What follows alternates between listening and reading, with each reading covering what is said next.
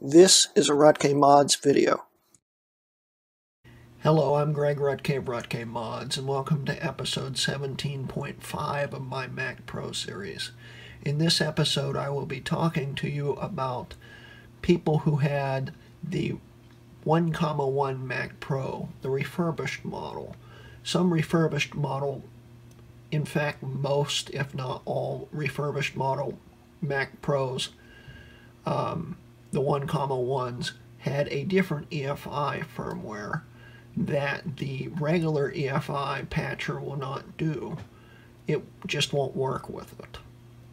So in this episode, I'm just going to quickly talk to you about the patched version of the tool that works with the refurbished models. Now there was at least two different refurbished models. When I say that, I mean there was at least two different EFIs that came on the systems that were refurbished. No one really knows why Apple did this, but they did.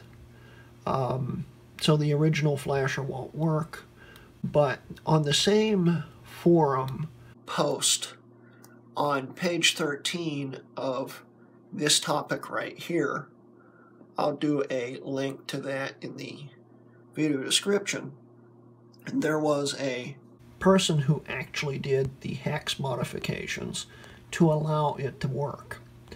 Um, originally, I didn't know this actually existed. In fact, most people said it isn't possible. But I always figured that there was a way to make it work and be able to do it with hex editing.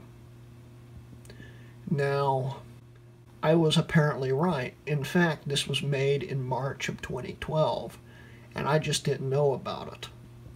So, first off, if you have this version of the EFI right here, you can download it from this link right here, this patch version of the firmware tool.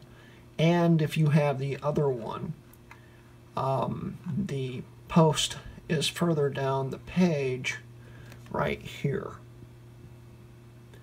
and you can just run these just like the normal one. I can't demonstrate it because first off my Mac Pro's already patched with the 2 comma 1 EFI and second off it wasn't refurbished to begin with. So anyway, that was just a quick episode to explain to you how you can still flash your 1 comma 1 to a 2 comma 1 if it was a refurbished Mac. Anyway, hi.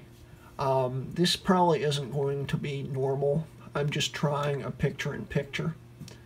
But um, I just wanted to see how this would work out. And um, you guys will see it too. anyway, um, thank you for watching. This has been a Hrutkay Mods video.